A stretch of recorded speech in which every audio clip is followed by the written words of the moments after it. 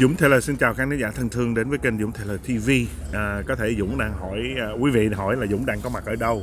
À, thực sự là đang có mặt ở tại phi trường Tân Sơn Nhất, à, đang trên đường trở về Hoa Kỳ sau à, 6 ngày có mặt ở tại à, Việt Nam.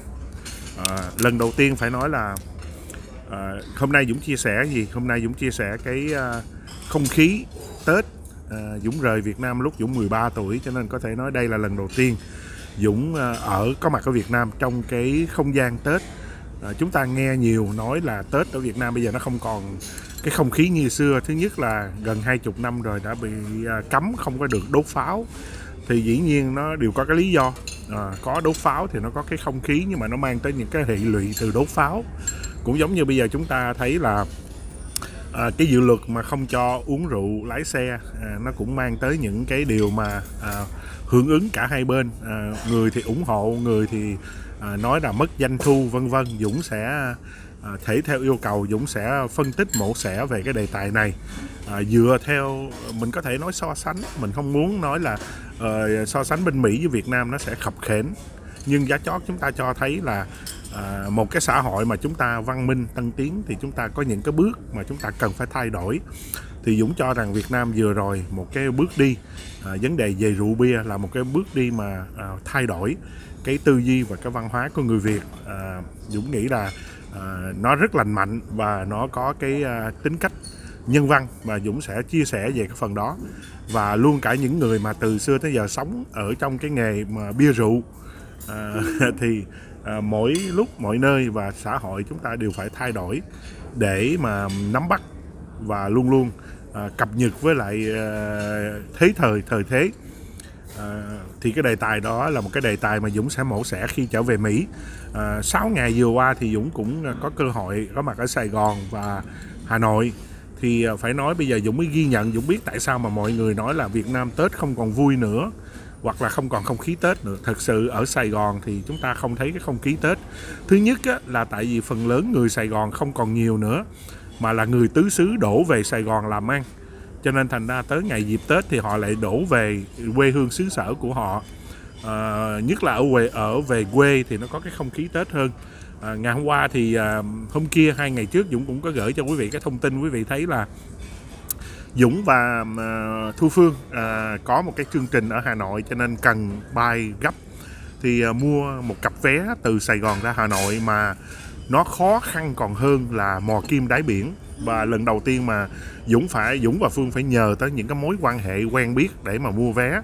Mình tưởng là chuyến bay nó ít khan hiếm nhưng mà khi chúng ta nhìn màn hình ở ngoài à, à, phi trường thì từ 7 giờ tối cho tới 11 giờ tối là 10 trong 4 tiếng đó là có 20 chuyến bay từ Sài Gòn ra Hà Nội của những hãng máy bay như là Bamboo, uh, Vietjet, à, của Pacific Airways, à, là là của Vietnam Airlines. Mà Vietnam Airlines là chuyến nào họ bay cũng là máy bay lớn không? Cái chuyến máy bay mà cuối cùng bà Dũng và Phương có được cặp vé để ngồi. À, đừng nói chi cái giá nha. Chúng ta nó gọi là ăn mài thì không đòi sơ gất được. Xin được cặp vé đi là đã mừng rồi.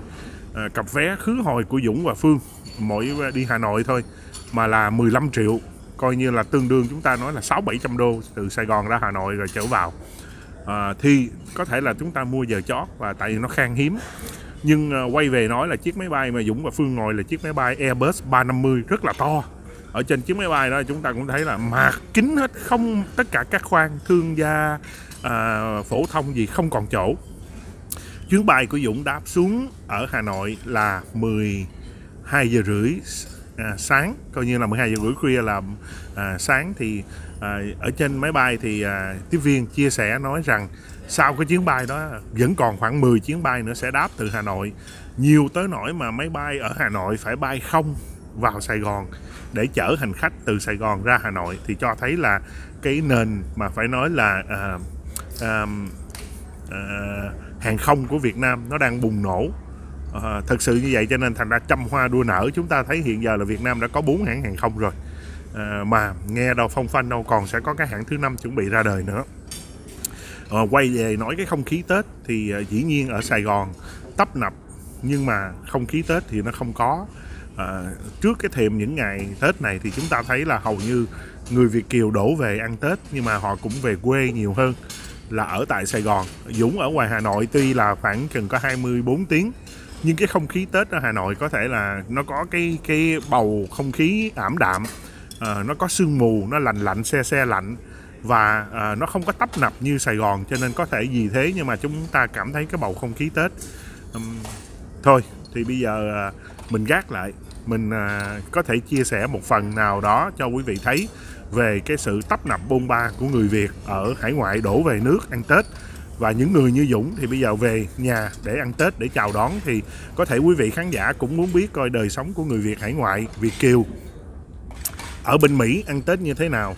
Thì à, khi về tới Mỹ Dũng sẽ cập nhật cho quý vị thấy à, cái nét sống cái văn hóa của người Việt và cái cách người Việt hải ngoại à, đón xuân như thế nào nhé à, còn bây giờ thì Dũng có thể chia tay với lại quý vị.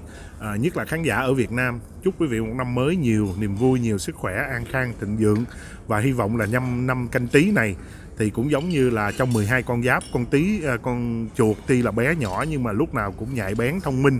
Và luôn luôn không bao giờ để mình bị à, vào một cái à, một một cái à, đường cùng à, nó luôn luôn thông minh thì người của mình cũng vậy. Hy vọng là năm nay là năm 20 20 thì à, cái tầm nhìn của chúng ta cũng vậy cũng sẽ sáng phải rõ hơn mỗi năm và luôn luôn chúng ta sẽ à, linh hoạt và nhạy bén như à, như con chuột như à, con à, à canh tí để mà chúng ta luôn luôn tìm ra được những cái à, à, không bao giờ để cho chúng ta cảm thấy là bế tắc và luôn luôn là có một cái đường à, lối thoát cho chúng ta ở trong đời sống. Thì Dũng hy vọng là như thế.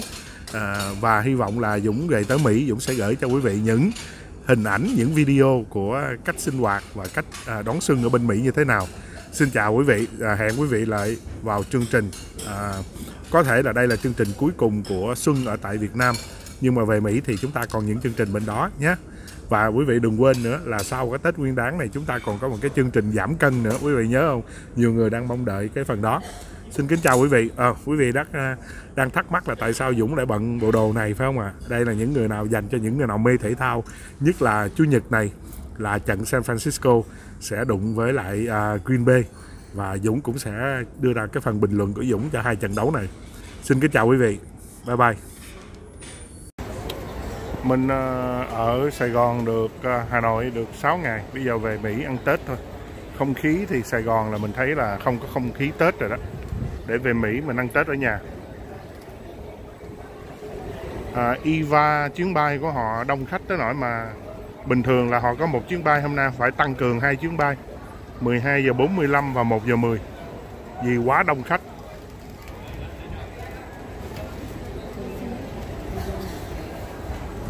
À, hai chuyến này tuy là rời Sài Gòn khác giờ nhưng mà về tới Đài Loan thì cũng sẽ gom lại còn một chuyến có nghĩa là sẽ đáp ở bên Mỹ 2 giờ 50 chỉ có từ Đài, từ Sài Gòn qua Đài Loan là họ tăng cường hai chuyến bay vì quá đông. Quý vị cũng thấy là bà con đổ về ăn Tết xếp hàng. Thường thường thì IVA không có xếp hàng dài như vậy. Hôm nay thì chúng ta thấy là xếp hàng ra một cái vòng tròn dài. IVA thì phục vụ rất là nhanh. Nhưng mà hôm nay thì cũng chịu thôi. Ờ, một, chắc là cũng có nhiều Việt kiều. Ờ, đổ về Mỹ ăn Tết lại hoặc đi qua đó thăm nhân à, trong cái mùa Tết này thì à, Sài Gòn sẽ rất là vắng. Họ nói muốn biết Sài Gòn à, thật sự người Sài Gòn có bao nhiêu thì sẽ về Tết thì sẽ nhìn mới thấy là Sài Gòn. Tại còn khoảng chừng 20 phần trăm còn bao nhiêu là họ đổ về quê. Ngày hôm qua thì Dũng cũng à, chia sẻ với quý vị là trong vòng 4, 4 tiếng từ 7 giờ tối tới 11 giờ tối à, phi trường Tân Sơn Nhất là hai chục chuyến bay từ Sài Gòn ra Hà Nội. Mà máy bay lớn không mà vẫn không có chỗ ngồi là cho thấy là người Sài Gòn không có còn bao nhiêu nữa hết. Họ về quê. Còn à, những, có những người thì bây giờ cơ hội này họ đổ đi qua Mỹ hoặc đi nước ngoài để đi ăn Tết. Thật sự là Dũng hơi thất vọng lần đầu tiên mà Dũng có mặt ở Việt Nam trong cái bầu không khí Tết. Nhưng mà Sài Gòn thì không có một cái vẻ không khí nào là Tết hết. Cho nên giờ mình hiểu tại sao mà họ đổ về quê ăn Tết. Mình cũng thế thôi, về nhà ăn Tết thì Dũng sẽ chia sẻ cho mọi người thấy là Việt Kiều ăn Tết như thế nào nhé.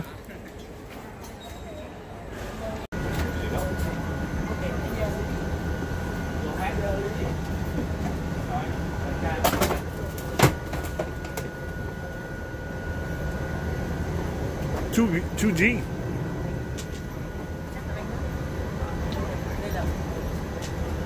See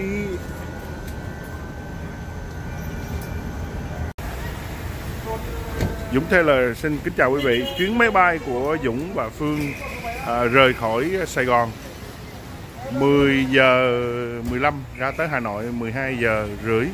Thế mà phi trường Hà Nội vẫn còn đang tấp nập. À, ngày hôm nay được thông tin thì là việc chỉ có mình mình Việt Nam Airlines không đã có 10 chiếc máy bay à, không có hành khách từ Hà Nội vào Sài Gòn để đón hành khách từ Sài Gòn cho thấy là cái lượng người tăng cường khủng khiếp. Và ra tới Sài Hà Nội thì mình thấy ngay cái không khí Tết à, mưa phùn và bắt đầu xe xe lạnh rất là thích. Ở trong Sài Gòn thì rất là nóng và ra Hà Nội thì thấy ngay không khí Tết nhá. Thị trường nội bài 12 giờ rưỡi sáng rồi mà còn như thế này. À, hiện giờ nhân viên cho biết còn khoảng cả chục chuyến bay nữa chuẩn bị đáp xuống. À, đưa ông Táo xong là mọi người về ăn Tết.